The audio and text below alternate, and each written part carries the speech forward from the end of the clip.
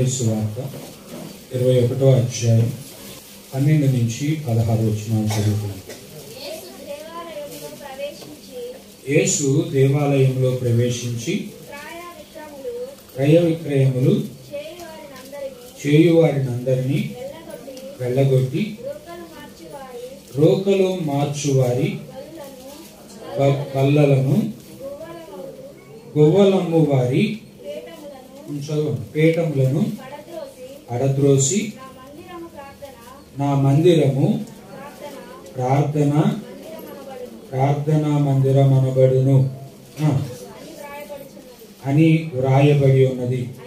అయితే మీరు దానిని దొంగల గుహగా చేసేడి వారనెను ఇంకొకటి చదవండి అక్కడి నుంచి.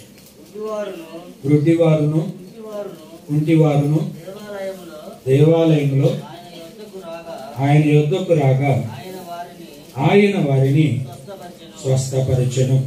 అలలుయ దేవుని ఈ వాక్యం మన వెనికిడిలో దీవించునుగాక. అమెన్ హర్షిత్ నుంచో ఒకసారి హర్షిత్ క్లాప్స్ కొట్టండి ఒకసారి.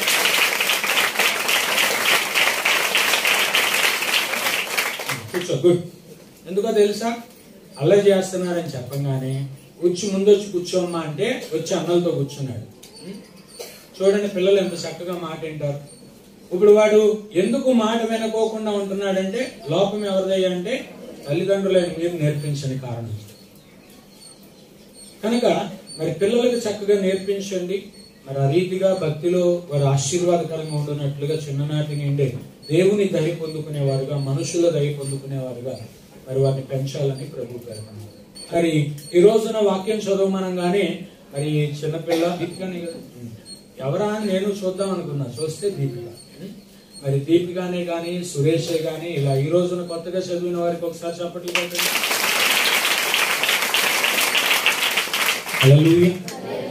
మంచిది. ఈ రోజున మనం వాక్య భాగం చదువుకున్నాం. ఈ వాక్య భాగంలో ఇక్కడ మనకు జరిగినటువంటి సందర్భం అంతా కూడా తెలుస్తుంది. ఏంటంట యేసు దేవాలయములో ప్రవేశించి క్రయ విక్రయములు చేయు వారందరినీ కూడా వెళ్ళగొట్టి రోకలు మార్చు వారి బల్లలను గువ్వల గువలము వారి పీఠములను పడద్రోసెను హల్లెలూయా. ఎక్కడ జరుగుతుంది కార్యం అంతా కూడా? దేవాలయంలో. హలలుయ ఏసయ్య దేవాలయంలోనికి అడుగు పెట్టంగానే మొట్టమొదటి నుంచి ఆయన ఏం చేశాడంటే ఉన్నటువంటి క్రమాలను ఉన్నటువంటి ఏదైతే ఆ అక్కర్లేనటువంటివి వ్యర్థమైనటువంటివి ఉన్నాయో వాటన్నిటినీ కూడా ఆయన ఏం చేస్తున్నారంటే క్రమపరచడం ఆరంభించారు. హలలుయ అందుకే సంగమ సేవకునిగా నేను తరచూ చెప్పే మాట ఏంటయ్యా అంటే దేవాలయంలోకి వచ్చి కూర్చుని చేసే భక్తి ప్రాముఖ్యం కాదు. అది ఎంత ప్రాముఖ్యమో మనం దేవాలయం వెలుగుతున్నప్పుడు మన దైనందిన జీవితం అంతే ప్రాముఖ్యత కలిగినదిగా ఉండాలి. దేవాలయానికి అడుగు పెట్టే విషయంలో కూడా మనం క్రమమైనటువంటి వారంగా ఉండాలి. దేవాలయంలోకి వచ్చిన తర్వాత కూడా మనం క్రమంగా భక్తిని అనుసరించే ఏదైతే మనకు ఒక విధానం ఉందో ఆ విధానాన్ని నీకు నచ్చినా నచ్చకపోయినా అనుసరించే వారుగా ఉండాలి. హల్లెలూయ. ఏసయ్య ఆ దినములో ఉన్న దేవాలయంలో ఉన్నటువంటి విధానాలను క్రమపరచ క్రమపరుస్తున్నారు. హల్లెలూయ. చూసారా ఏసై అంత క్రమానికి ప్రాధాన్యత ఇస్తారు. ఆది కాండంలో మొదటి అధ్యాయంలో గనక గమనించినట్లయితే మొదటి అధ్యాయంలో కూడా ఆరంభంలో సృష్టి ఎలాగుందంటే నిరాకారంగాను శూన్యంగాను ఉంది. అవునా కాదా? కానీ దేవుడు ఏ మనుషుల్ని చేసేయచ్చుగా సృష్టి ఉంది చేసే పని మనుషుల్ని చేసేయచ్చుగా. కానీ చేయలే ఆయన. మొట్టమొదటి ఏం చేశాడంటే ఆయన సృష్టిని క్రమపరిచాడు. హల్లెలూయా. సంగమ ఈ రోజున విశ్వాసులంగా భక్తి భక్తి కలిగిన వారంగా దేవుని పిల్లలంగా క్రైస్తవులంగా పిలువబడుతున్న మనం మన జీవితాలు మన భక్తి జీవితం అన్ని కూడా క్రమమైనటువంటివిగా ఉండాలి. హల్లెలూయా. ఇదిగో మందిరానికి వచ్చి ఏదో ఒక సమయంలో ఆరాధన చేయటం ప్రార్థన చేయటం ప్రాముఖ్యం కాదు. అది ఎంత ఒక విశ్వాస జీవితంలో ఒక క్రైస్తవ జీవితంలో ఇదిగో మందిరానికి రావటం సమాజంతో కలిసి ఆరాధన చేయటం వ్యక్తిగతంగా ఇదిగో మందిరంలో ప్రార్థన చేయటం ఎంత ప్రాముఖ్యమైందో ఆ ప్రార్థన నియమంలో క్రమం అనేది కూడా చాలా ప్రాముఖ్యమైనది. హల్లెలూయా. దేవుడు ఎక్కడ కూడా మీరు చూడండి వాక్యంలో ఎక్కడా కూడా బైబిల్ గ్రంథం అంతటిలో కూడా క్రమంగా లేని భక్తిని ఎక్కడా కూడా దేవుడు స్వీకరించలా. స్వీకరించలా. క్రమం చాలా ప్రాముఖ్యమైనది నీ ఇంటి పనే కానీ నీ ఒంటి పనే కానీ నీ భర్త పనే కానీ నీ పిల్లల పనే కానీ ఎవరి పనైనా సరే నువ్వు ఆదివారం వచ్చేసరికి ఎలా అన్నిటి పక్కన పెట్టి నువ్వు వచ్చి ఇక్కడ భక్తిలో కనపడాలి. అలలు ఉదాహరణ నోవహు ఇదిగో దేవుని మాట ప్రకారం ఓడను సిద్ధపరిచాడు. ఓడలోనికి ఈ వేటి వేటినైతే తీసుకువెళ్ళమన్నాడో వాటన్నిటినీ తీసుకువెళ్ళాడు. అందుకనే ఆ క్రమం చొప్పున చేశాడు గనకనే నోవహు దేవుడు చెప్పిన క్రమం చొప్పున చేశాడు గనకనే నోవహు ఏమయ్యాడో తెలుసా? భద్రపరిచాడు దేవుడు నోవహు. హల్లెలూయా. నోవహును కాపాడాడు దేవుడు. అంత మాత్రమే కాదు కాపాడటం మాత్రమే కాదు బయటకు వచ్చిన తర్వాత దేవుడు ఏ క్రమాన్ని అయితే చెప్పాడో ఆ క్రమాన్ని బట్టి తను నేర్చుకున్న క్రమాన్ని బట్టి తనకు ఉపదేశించబడిన క్రమాన్ని బట్టి నోవాహు బయటకు వచ్చిన తర్వాత వెంటనే ఏం చెల్లించాడు దేవునికి? బలి అర్పించాడు. హలలుయ మరి అక్కడ ఎవరైనా చెప్పారా? అక్కడ నోవాహు కుటుంబం తప్ప అందరూ చనిపోయారు. అవునా కాదా? మరి సేవకుడు లేదు సంఘం లేదు. మరి ఎందుకు బలి అర్పించడం? కానీ అక్కడ నోవాహు ఏం చేస్తున్నాడు తెలుసా? ఏ క్రమం అయితే తనకు ఉపదేశించబడిందో ఏ క్రమం అయితే ఇదిగో జలప్రలయానికి ముందుగా తనకు బోధించబడిందో ఆ క్రమం ప్రకారం జలప్రలయం ముగించబడిన మీదట ఇదిగో దేవుడు తను సురక్షితంగా సజీవ లెక్కలో ఇదిగో భూమి మీద నిలబెట్టిన తర్వాత తను మొట్టమొదటిగా చేసిన పని ఏంటయ్యా అంటే దేవునికి బలి అర్పణ చేశాడు. హలలుయ అందుకే అక్కడ రాయబడి ఉంటుంది నోవహు అర్పించినటువంటి అర్పణ దేవునికి ఎలాగుందంట? ఇంపైన సువాసనగా ఉందంట. హలలుయ ఈరోజు నువ్వు క్రమం లేకుండా భక్తి చేస్తున్నావు. ఆ భక్తి దేవునికి ఇంపైనది కాదు సంగమా. ఈ రోజున క్రమమైనటువంటి వారిగా నేను ఉన్నాను కానీ నా భక్తి జీవితంలో లోపం ఉంది. ఈ క్రమం దేవునికి ఇంపైనది కాదు. హలలుయ కనుక మారుతాం కొన్ని సంవత్సరాలుగా మన సంఘం డెబ్బై ఏడులో స్థాపించబడింది. డెబ్బై ఏడు మొదలుకొని ఇప్పుడు వరకు ఉన్నటువంటి నాలుగు తరాలతో ఈ ఉదయకాలం పరిశుద్ధాత్మ దేవుడు మాట్లాడుతున్నటువంటి మాట ఏంటయ్యా అంటే ఇదిగో మీ భక్తి విధానాన్ని మార్చుకోండి. మీ పద్ధతులను మార్చుకోండి. ప్రతిదీ కూడా మీకు నేర్పించింది కాదు మీకు చూపించింది కాదు మీకు తెలిసింది కాదు. ఇప్పుడు ఈ అంచె దినాలలో ఏదైతే వాక్యమైన అర్థములో మీ వ్యక్తిగత జీవితాలు సరిచేయబడుతున్నాయో వాక్యం అనే వెలుగులో మీరు వెలిగించబడుతున్నారు ఆ వెలుగును అనుసరించి మీ విధానాన్ని మార్చుకోండి అని పరిశుద్ధాత్మ దేవుడు మాట్లాడుతున్నాడు. అలలుయా అలలుయా ఎప్పుడైతే ఆత్మ స్వరమునకు చెవి ఎక్కుతామో అది మనకు దీవెన సంగమం. ఈ రోజు అనుకోవచ్చు ఈ క్రమం మనలో లేకపోయినా మనం దీవెనకరమైన వారంగానే ఉండవచ్చు. మనం అనుకున్నవన్నీ కూడా జరుగుతూ ఉండవచ్చు. కానీ ఆ దీవెన శాశ్వతం కాదు. ఆ దీవెన శాశ్వతంగా ఉండాలనుకుంటున్నట్లయితే దేవుని మాట ప్రకారం దేవుని ఉద్దేశం ప్రకారం దేవుని వాక్యానుసారంగా మన జీవితాలను క్రీస్తనే బండపై స్థిరపరుచుకునే అనుభవం కలిగిన వారమై ఉండాలి. అలలుయ. అలలుయ. ఒకవేళ ఎవరైనా దీవించబడుతున్నామని అతిశయిస్తున్నారేమో. ఒకవేళ ఎవరైనా దీవెన లేదు ఎదుగో అని కృంగిపోతున్నారేమో. ఉదయకాలం దేవుడు మాట్లాడుతున్నటువంటి మాట ఎదుగో మీలో క్రమం లేకపోతే క్రమాన్ని పెట్టుకోండి. మీలో భక్తి లేకపోతే ఆ భక్తిని మీ జీవితాలలో అలవరుచుకోండి. అలలోయ అందుకే ఇక్కడ ఏసయ్య దేవాలయంలో రాగానే ఏం చేస్తున్నాడు తెలుసా? అక్కడ రాయబడి ఉంది. ఇదిగో ఆ వెళ్ళగొట్టి వెళ్ళగొట్టి అని రాయబడి ఉంది ఏ ఎవరిని వెళ్ళగొట్టాడంట క్రయ విక్రయములు చేయువారిని రోకలు మార్చు వారి బలలను గువ్వలమ్ము వారిని అందరినీ కూడా ఏం చేశాడంట? ఆయన వెళ్ళగొట్టాడంట. హలలుయ ఈ వెళ్ళగొట్టుట అనే మాట ఇంగ్లీష్లో ఏమని రాయబడి ఉంటుందంటే ప్యూరిఫికేషన్. ఏంటది? ప్యూరిఫికేషన్. క్రమపరచుట. క్రమపరచుట.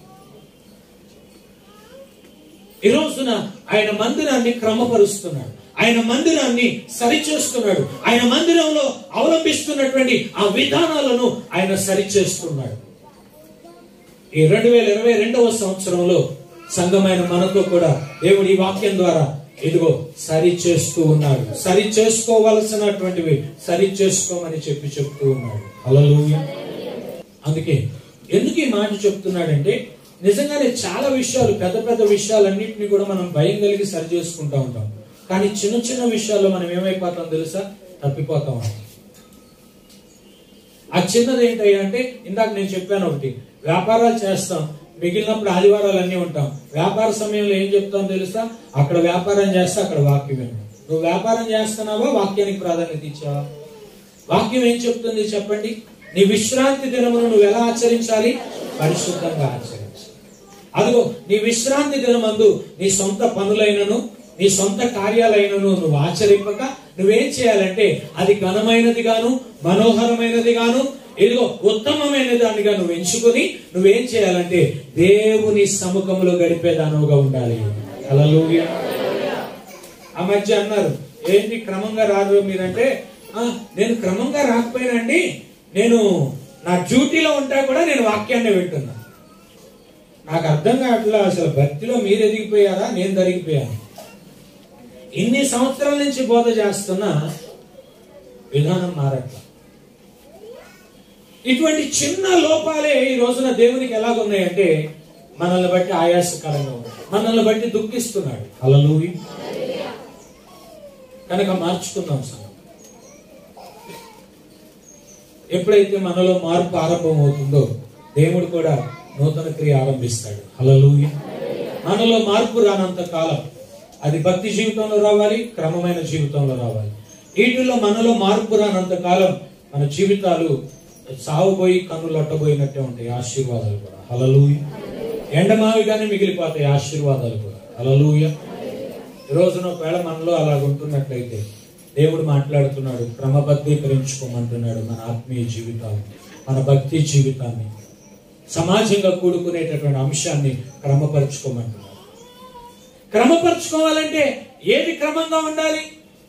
హృదయం క్రమంగా ఉండాలి. హలలోయ అక్కడ రాయబడి ఉంది యేసు దేవాలయాన్ని ఏం చేశాడు? క్రమపరిచి. కొరందీలకు రాసిన పత్రికలో పౌలు అంటాడు ఇదిగో మీ దేహం ఏమై ఉంది? దేహం ఏమై ఉంది? ఏమండి? ఇదిగో మనం దేవుని ఆలయంలో ఈ విశ్రాంతి దినమో సమాజంగా కూడుకునే సమయంలోనో ఇక్కడ కూడుకుంటున్నామని ఆయనకు తెలుసు. అవునా కదా? మనకంటే ముందుగా ఆయన ఇక్కడికి వస్తాడు. వస్తాడా రాడా? వస్తాడు. మరి నీ దేహం అంట్లు కడిగే దగ్గర ఉందా? ఇంటిని శుభ్రం చేసే దగ్గర ఉందా? బాత్రూమ్లో ఒంటిని శుభ్రం చేసుకునే దగ్గర ఉందా? పడక మీద బద్ధకంతో నిద్రించేదిగా ఉందా? లేదా నీ దేహం సజీవ యాగముగా ఆయన మనకంటే ముందుగా ఇక్కడ వచ్చినటువంటి సమయంలో ఎస్ ప్రభు ఆరో తల్లిగారు చెప్తా ఉంటారు జిమ్ గురించి. ఏసైని అడిగితే జిమ్ హియర్ జీసస్ అన్నాడంట అవునా? ఈ రోజున నువ్వు ఎక్కడున్నావు? ఈ రోజు నువ్వు ఎక్కడున్నావు? ఆరాధన ప్రార్థనతో ఆరంభించాం. నువ్వు ఎక్కడున్నావు? నువ్వున్న ఆ స్థితిని బట్టి నువ్వు దేవుని గాయాన్ని రేపుతున్న వాడవుగా రేపుతున్న దానవుగా ఉన్నావు. అలలుయ అక్కడ పౌలు? మీ దేహం దేవుని ఆలయమై ఉన్నది దేవుని ఆలయం పునరుద్ధాన దినమందు విశ్రాంతి దినమందు. ఈ దేవుని ఆలయం ఎక్కడుండాలో తెలుసా? దేవుడు నివాసం చేసేటటువంటి స్థలములో ప్రత్యక్షం అవ్వాలి అలలుయ కానీ నీ ప్రత్యక్షత ఎక్కడుంది? మంచం మీద బాత్రూమ్ లోనా ఇంటిలోనా లేదా అంకుల దగ్గర? ఎక్కడుంది నీ ప్రత్యక్షత? అలలుయ ఈ మాట ఏమన్నా మీకు బాధ కలిగించింది. కానీ నా ఒక సగటు మనిషి అయినటువంటి నా సాధారణ మాట మీకు బాధ కలగజేస్తే. ఇదిగో మనం మనం ఇన్ని సంవత్సరాలుగా భక్తి చేస్తున్నాం కానీ మన జీవితాల్లో క్రమంలో మార్పు రాకపోతే మనం దేవుణ్ణి ఎంత గాయాన్ని రేపుతున్నామో ఒకసారి అర్థం చేస్తాం ఈ ఒక్క మాట చాలు. ఆయన గాయాన్ని మనం రేపుతున్నాం అన్నారు దేవుని ఆలయంగా ఉన్న మనం దేవుని ఆలయంలో ఆయన ఆత్మ సంచారం జరుగుతూ ఉంటే ఆయన ఆయన నివాసయోగ్యమైన స్థలములుగా మన ఆలయాన్ని మలుచుకోవడానికి ఇక్కడ మనం సిద్ధ మనస్సుతో ఉన్నట్లయితే ఆయన ఆత్మ సంచారమే.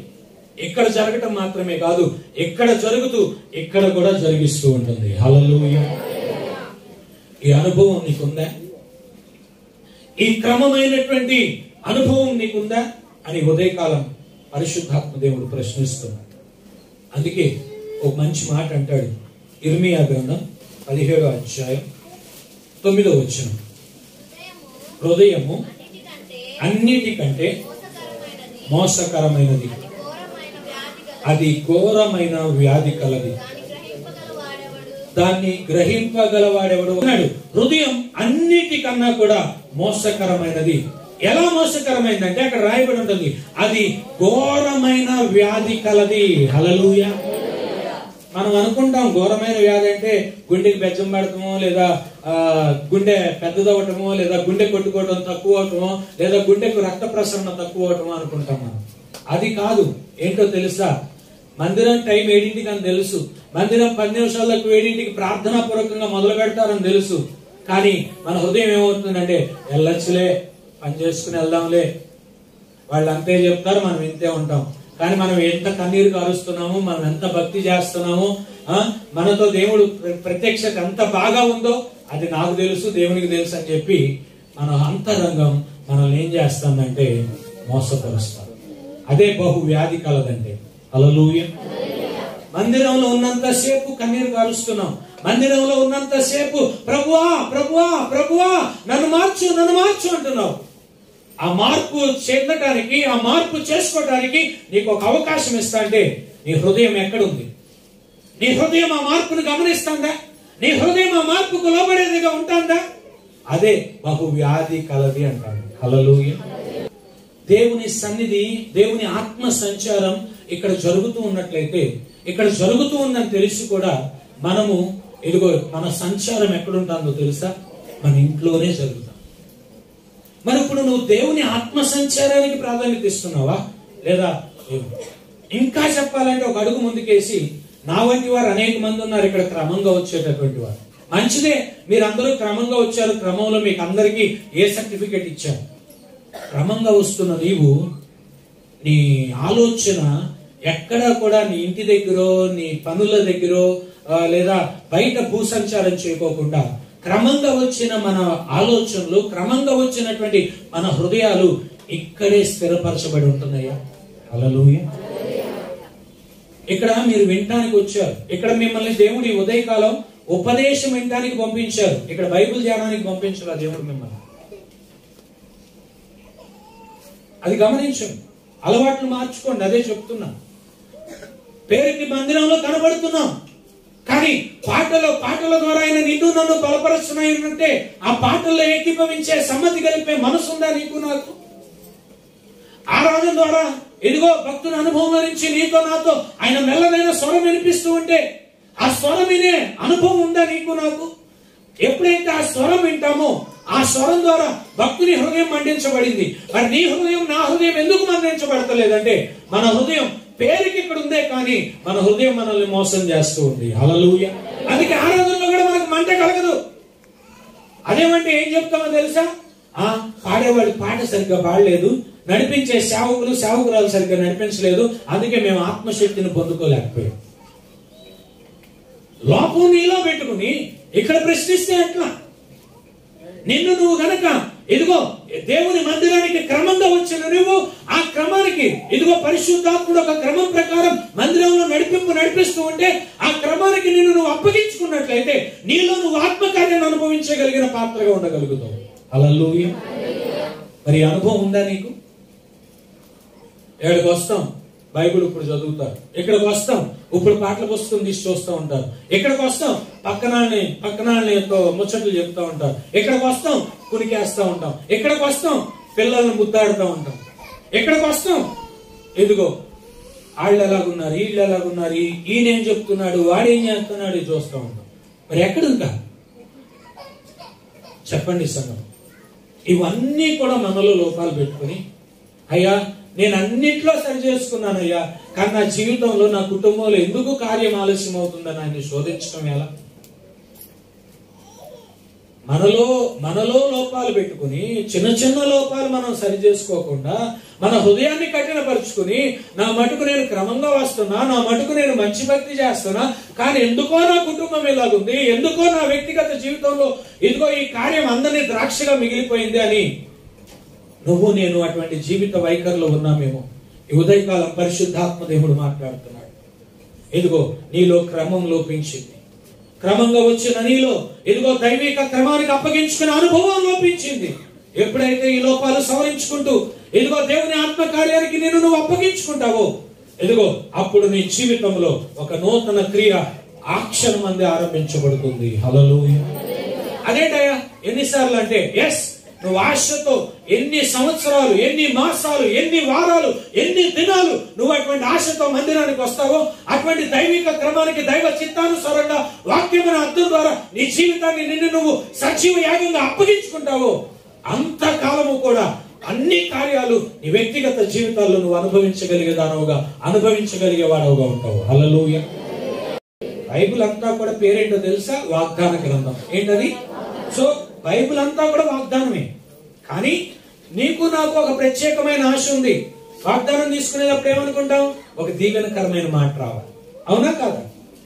సో అటువంటి దీవెనకరమైన వాగ్దానాలు ఎన్నున్నాయో తెలుసా? రాసి పెట్టుకొని కావాలంటే. ఎన్ని వే ఎన్ని ఎన్ని వేలు ఉన్నాయి ఏడు వేలు సుమారు ఏడు వేలు వాగ్దానాలు ఉన్నాయి. అలలుయ ఈ ఏడు వేలు వాగ్దానాలు దేవుడు నీకు నాకు ఎందుకు ఇచ్చారు తెలుసా?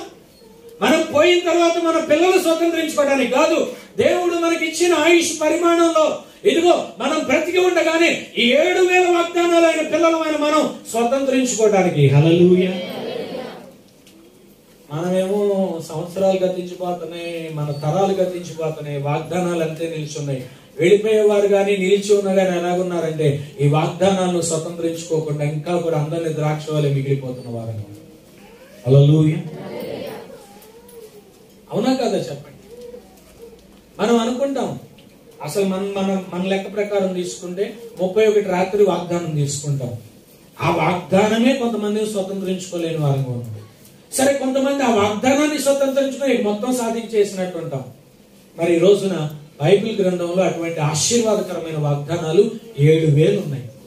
ఈ ఏడు వేలు కూడా ఒక మనిషి తన దైనందిన జీవితంలో దేవుడిచ్చిన ఆయుష్ పరిమాణం కొలదిలో అవి స్వతంత్రించుకోవడానికే దేవుడు మనకు అనుమతించాడు. హలలుయ వీటిలో ఎంతవరకు మనం స్వతంత్రించుకునే వారంగా ఉండగలుగుతున్నాం?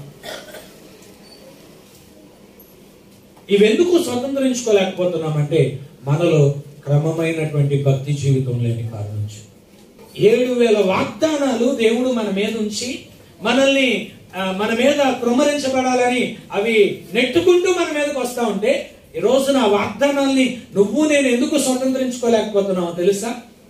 క్రమమైన భక్తి లేని కారణం చేయాలి హల్లెలూయా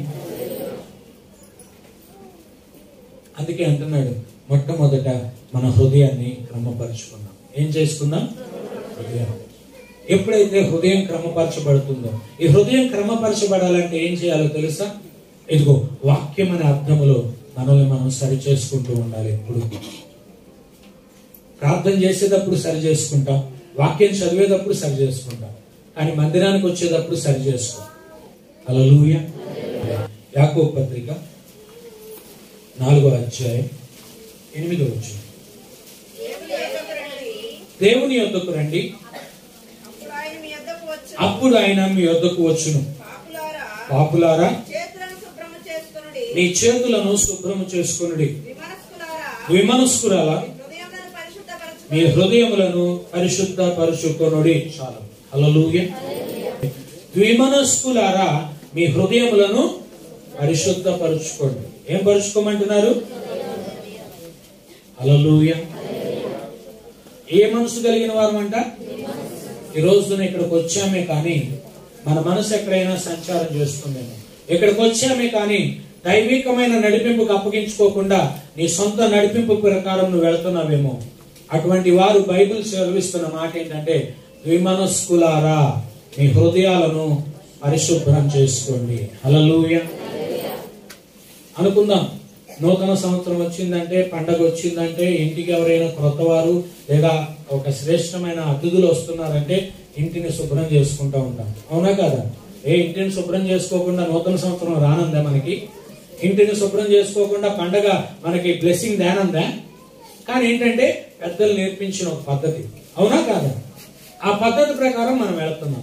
మరి వాక్యం కూడా మనకు ఒక పద్ధతి నేర్పుతా నేర్పిస్తాందిగా? మరి ఎందుకు నువ్వు ఆ పద్ధతి నేర్చుకోలేకపోతున్నావు?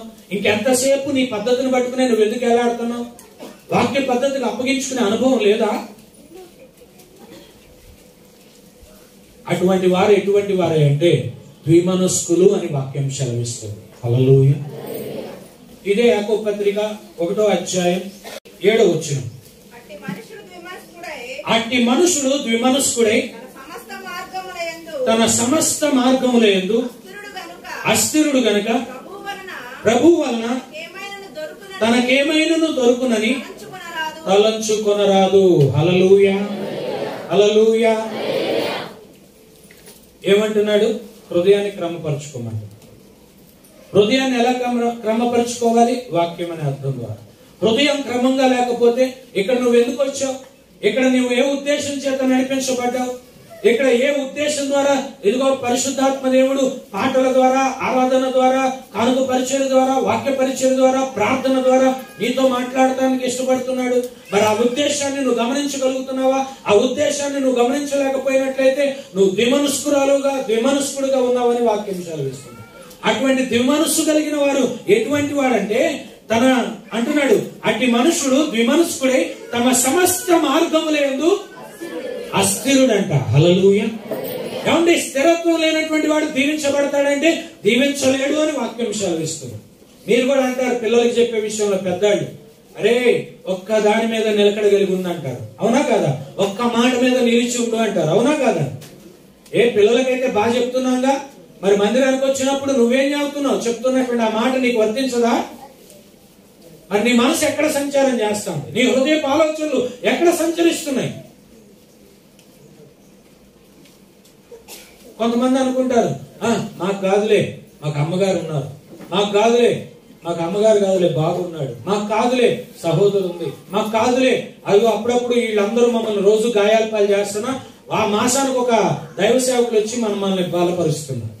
మరి ఇదేం ఆత్మ అంటారు నాకు? తెలియదు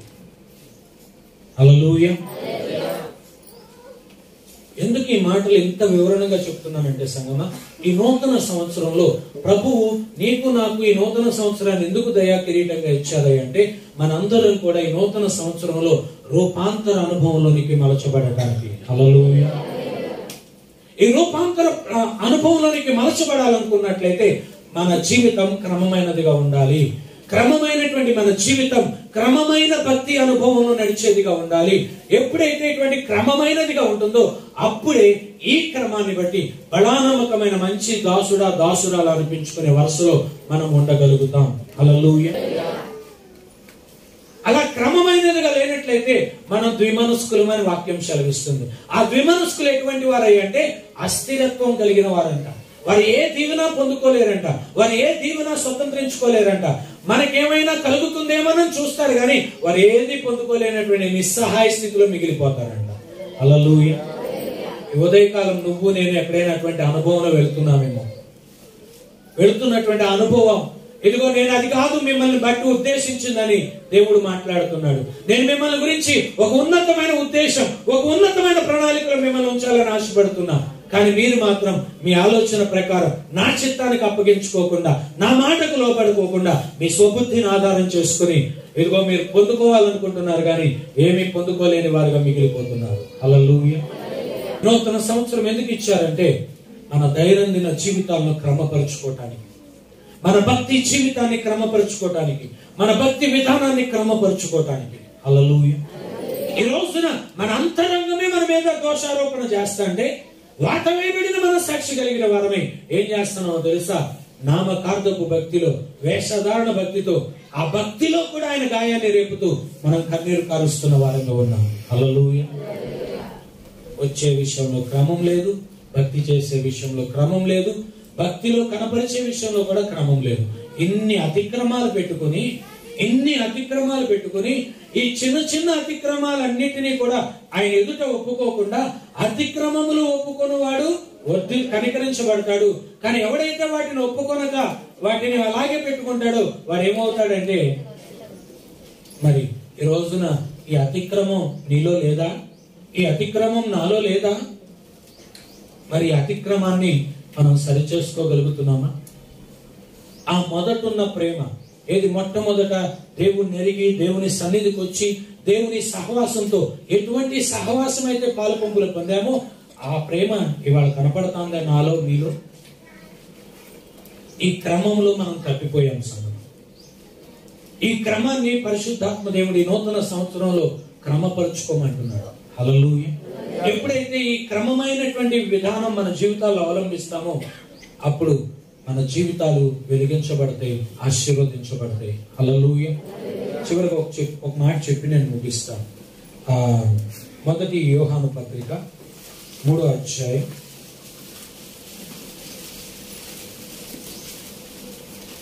మూడో వచ్చిన చదువుకుందాం. ఆయన ఎందు ఈ నిరీక్షణను పెట్టుకొనిన ప్రతి వాడును ఆయన పవిత్రుడై ఉన్నట్టుగా తన్ను తన్ను పవిత్రునిగా చేసుకొను హలలుయ ఏమంటున్నాడు ఇక్కడ? ఆయన ఎందు ఈ నిరీక్షణ పెట్టుకొనిన ప్రతివాడు. కాబట్టి ఈ నిరీక్షణ పెట్టుకున్న ప్రతివాడు అని వాక్యం చెప్పింది. ఇప్పుడు నువ్వు నేను ఒక నిరీక్షణ కలిగి ఉన్నావా లేదా? ఉన్నావా లేదా? ఏ నిరీక్షణ? ఆయన రాకడొస్తే మనందరం కూడా ఏమవ్వాలి? ఎత్తబడే వరుసలో ఉండాలి. హలలుయ సంగమా ఆ నిరీక్షణకు ఎదురు చూస్తున్నామా లేదా? ఆ నిరీక్షణ కొరకు ఎదురు చూస్తున్న నీ నా జీవితాలలో ప్రభు అంటున్నటువంటి మాట ఏంటంటే ఇదిగో ఆయన పవిత్రుడై ఉన్నట్టుగా తన్ను పవిత్రునిగా చేసుకొనును. హలలుయ ఒక నిరీక్షణతో నిరీక్షణ ప్రజలంగా ఎదురు చూస్తున్న నువ్వు నేను కూడా. ఆ నిరీక్షణ శుభప్రదమైనదిగా ఉండాలన్నా ఆ శుభప్రదమైన నిరీక్షణ మన జీవితాలలో ఆశీర్వాదకరమైనదిగా మలచబడాలన్నా మనల్ని మనం ఏం చేసుకోవాలంటే క్రమపరుచుకుంటూ ఉండాలి పవిత్రపరుచుకుంటూ ఉండాలి సరి చేసుకుంటూ ఉండాలి. హల్లెలూయా. ఈ అనుభవం ఉందా మరి? ఈ నా దేవుడు మాట్లాడినటువంటి ఈ చిన్న సమాధాన విషయంలోనే ఈ చిన్న సహోదర ప్రేమ విషయంలోనే ఈ చిన్న ఆరాధనకు వచ్చేటటువంటి ఆరాధన క్రమం విషయంలోనే ఈ చిన్న చిన్న విషయాల్లోనే నువ్వు నేను తప్పిపోయిన వరుసలో ఉంటే రేపు ప్రతికూలమైన దినాలు ఒకటి రానయ్యున్నాయి ఆ దినాల్లో ఇదిగో అంటున్నాడు మనుష్య కుమారుడు వచ్చేటటువంటి దినాల్లో విశ్వాసులలో ఇటువంటి విశ్వాసం అనుకుంటున్నా మరి ఆ మాట అంటున్నాడు మరి ఇప్పుడే విశ్వాసాన్ని స్థిరపరచుకోవడానికి దేవుడు అవకాశం ఇస్తాంటే రేపటి దినాల్లో ఆ విశ్వాసం మనలో కనబడుతుందా? కనుక ఇప్పుడు దేవుడు అనుగ్రహిస్తున్నటువంటి ఈ తరుణాన్ని సమయమును పోనీక సంగమ సద్వినియోగపరుచుకుని నిష్కపటమైన సహోదర ప్రేమ కలిగిన అనుభవం కలిగిన వారమై ఉంది ఏం చేయాలో తెలుసా? ఇదిగో పవిత్ర హృదయముతో యథార్థ హృదయముతో మనం దేవుని ఇదిగో మహిమ పరిచే వారంగా ఉండాలి. హల్లెలూయా. ఇప్పుడు చూడండి మూడో వచనం చదివాం కదా? ఇప్పుడు రెండో వచనంలో ఒక మాట చెప్తున్నాడు. ప్రియులారా ఇప్పుడు మనము దేవుని పిల్లలమై ఉన్నాము. మనమిక ఏమి మనమిక మనమిక ఏమవుదమో అది ఇంకా ప్రత్యక్షపరచలేదు గాని ఆయన ప్రత్యక్షమైనప్పుడు ఆయన ఉన్నట్లుగానే ఆయనను చూద్దుము గనక ఆయనను పోలి ఉందుమని ఎరుగుదుము. హలలుయ ఇప్పుడు దీని కొరకేగా మన ప్రయాస? రేపు ఆయన మహిమ శరీరంతో వస్తున్నాడు. మనము సిద్ధపాటు కలిగి క్రమమైనటువంటి జీవితం కలిగి క్రమమైనటువంటి భక్తి అనుభవం కలిగి క్రమమైనటువంటి ఆత్మ సంబంధమైనటువంటి విధానం కలిగిన వారమై ఉన్నట్లయితేనే మనం ఏమవుతామో తెలుసా? ఆయన మహిమ శరీరంతో వచ్చేటటువంటి ఆ రెండవ రాకడలో మనం కూడా ఈ భౌతిక సంబంధమైన విడి ఆ, శరీరాన్ని విడిచిపెట్టి ఎందుకో మహిమ శరీరాన్ని ధరించుకునే అనుభవం కలిగిన వారమై ఉంటాం అలలుయ అదే ఇక్కడ అంటున్నాడు. ఏమని అంటున్నాడంటే ఇదిగో మనం ఇంకా ఏమవుదామో అది ఇంకా తెలియపరచబడలేదు కానీ ఆయన ప్రత్యక్షమైనప్పుడు మాత్రం ఆయన ఉన్నట్లుగానే మనం కూడా ఉండుతాం హలలుయ ఎప్పుడుంటామో తెలుసా? మన జీవితంలో క్రమమైన భక్తి చేసే అనుభవం కలిగిన వారమై ఉన్నప్పుడు. మన జీవితంలో ఏవైతే దేవునికి విరుద్ధమైనటువంటివి దేవుని వాక్యానుసారానికి విరుద్ధమైనటువంటి ఉన్నాయో వాటన్నిటినీ కూడా మన దైనందిన జీవితాల్లో క్రమపరుచుకునే అనుభవం కలిగిన వారమై ఉన్నట్లయితే మనం ఎలాగుంటామో తెలుసా? ఆయన ఎలాగైతే మనకు ప్రత్యక్షం అవుతాడో అదే రీతిగా మనం కూడా ఆరోహణం అవుతాం హలలుయ అనగా ఆయన మహిమ శరీరం దాల్చిన వాడిగా ఉన్నాడు. మనం కూడా ఏమవుతామంటే ఈ మట్టి దేహాన్ని విడిచిపెట్టి మహిమ దే మహిమ శరీరాన్ని ధరించుకుని ఆయనతో ఆరోహణం అయ్యే వారంగా ఉంటాం. హలలుయ ఈ రోజున నీ నా ప్రయాస అదే కదా సంగమ? మరి ఆ ప్రయాస ప్రభువునందు మంది వ్యర్థంగా మిగిలిపోకూడదు అనుకుంటున్నట్లయితే మనందరం కూడా క్రీస్తు యేసు యొక్క మంచి సైనికుని వలె ఇదిగో ఈ శ్రమలు ఈ కష్టములు ఈ ప్రతికూలతలు ఈ ఇరుకులు ఈ ఇబ్బందులు మనం ఏం చేయాలో తెలుసా? క్రమమైనటువంటి భక్తి విధానం అవలంబించే వారంగా ఉండాలి. క్రమమైనటువంటి దేవుణ్ణి క్రమంగా ఆరాధించుకునే వారంగా ఉండాలి. ఇదిగో దేవుడు క్రమంగా ఒక్కొక్క దాన్ని మనకి వెల్లడిపరుస్తూ ఇదిగో మన జీవితాన్ని క్రమపరచాలని ఆశపడుతూ ఉండగా ఆయన మన పట్ల ప్రణాళిక కలిగి ఉండగా మనము ఇదిగో దేవుడు క్రమపరుస్తున్నటువంటి ఆ క్రమమైన విధానానికి మనల్ని మనం అప్పగించుకునే వారంగా ఉండాలి. ఎప్పుడైతే ఇటువంటి క్రమానికి మనం అప్పగించుకుంటామో అప్పుడు మనము తప్పక ఆయన రాకడలో ఎత్తబడే అనుభవం కలిగిన వారమే ఉంటాం హల్లెలూయా. మత్తయి వార్త ఐదో అధ్యాయం అందరికీ కంటత వాక్యం అది. కానీ ఒకసారి తీసి చదువుదాం. నాతో పాటు మీరు అందరూ కూడా చదవాలని మరి నేను చదువుతాను నాతో పాటు మీరు చదవాలి ఓకేనా? మత్తయి వార్త ఐదో అధ్యాయం. చదువు రానటువంటి వారు కూడా మీరు ఏకీభవించాలి. ఈ మాటలు మీకు వచ్చినటువంటివి. ఐదో అధ్యాయం ఎనిమిదో వచ్చిన. హృదయ శుద్ధి గలవారు ధన్యులు. వారు దేవుని చూచెదరు. హృదయ శుద్ధి గలవారు ధన్యులు. వారు దేవుని చూచెదరు. ఆమె హృదయ శుద్ధి గలవారు. వారు ఎవరిని చూస్తారంట? నువ్వు దేవుణ్ణి చూస్తా కూడా ఒకవేళ హృదయ శుద్ధి లేదేమో నీలో. లేదా ఇదిగో నీలో దేవుణ్ణి చూడాలని తప్పనుంది దేవుని దర్శనం పొందుకోవాలని తప్పనుంది కానీ ఆ దర్శనాన్ని నువ్వు చూడలేకపోతున్నావేమో. దానికి మూలం ఏంటంటే హృదయ శుద్ధి లేదు. ఈ హృదయ శుద్ధి ఎప్పుడు వస్తుంది అంటే దేవుని యొక్క ఇదిగో వాక్య క్రమానికి మనల్ని మనం అప్పగించుకున్నాం. కనుక ఇక్కడ వాక్యం సెలవిస్తుంది. ఈ నూతన సంవత్సరంలో హృదయ శుద్ధి కలిగి దేవుడు మనల్ని నడుచుకోమంటున్నాడు. ఎవరైతే హృదయాన్ని శుద్ధి చేసుకుని వెళతారో వారు ఎలాగుంటారో తెలుసా? నిష్కపటమైన సహోదర ప్రేమలో నిలిచి ఉండే అనుభవం కలిగిన వారే ఉంటారు. అంత మాత్రమే కాదు పవిత్ర హృదయముతో ఇదిగో అందరినీ కూడా ప్రేమించేవారుగా చేర్చుకునేవారుగా ఉంటారు. అంత మాత్రమే కాదు క్రమమైనటువంటి భక్తి చేసేటటువంటి వారుగా ఉంటారు. అంత మాత్రమే కాదు దేవుడు అనుగ్రహించినటువంటి ఆ- ఆ ప్రణాళిక చొప్పున క్రమమైనటువంటి ఆశీర్వాదాలన్నింటినీ కూడా స్వతంత్రించుకునే అనుభవం కలిగిన వారై ఉంటారు. మన జీవితం క్రమమైనదిగా ఉండాలి. క్రమమైనటువంటి మన జీవితం క్రమమైన భక్తి అనుభవంలో నడిచేదిగా ఉండాలి. ఎప్పుడైతే ఇటువంటి క్రమమైనదిగా ఉంటుందో అప్పుడే ఈ క్రమాన్ని బట్టి బలానమ్మకమైన మంచి దాసుడా దాసురాలు అనిపించుకునే వరుసలో మనం ఉండగలుగుతాం. అలలు